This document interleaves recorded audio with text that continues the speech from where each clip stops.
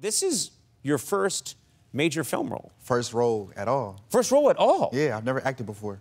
Wait a minute. So you've never acted before, and then you land the role of Tupac Shakur. Right.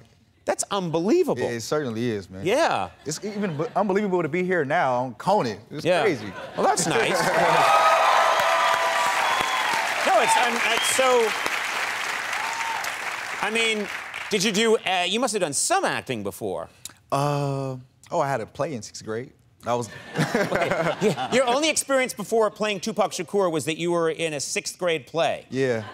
What play was that? Um, the Christmas Chorale, something, I, and I, my character was Bubblegum Bart. It was some Christmas play.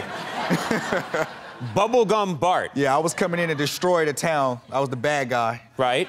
Why was your name Bubblegum? I was going to wipe the town out with bubblegum.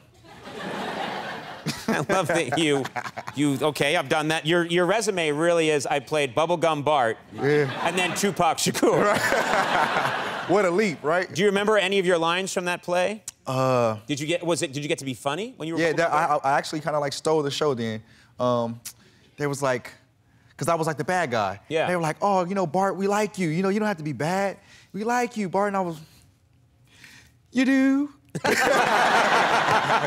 And I bet you got the bug right there. Yeah, that was when you. When you score, I don't care what age you are, when you score in front of an audience like that, you you have yeah. the bug. It was like the same reaction. They all laughed. They loved it.